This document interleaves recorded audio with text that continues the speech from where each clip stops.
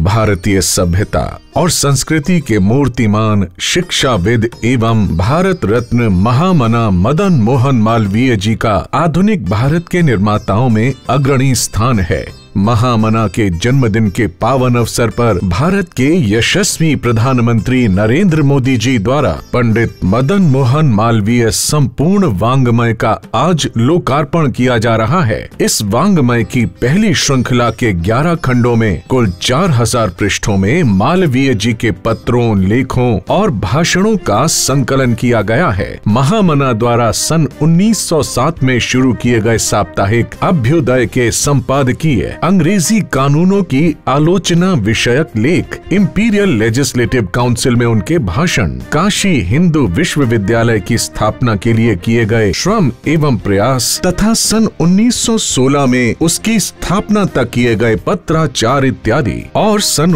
1923 से 1925 के मध्य उनके द्वारा लिखी गई डायरी के पन्ने यथावत इसमें शामिल हैं। आइए इस अद्वितीय अवसर के भागीदार बने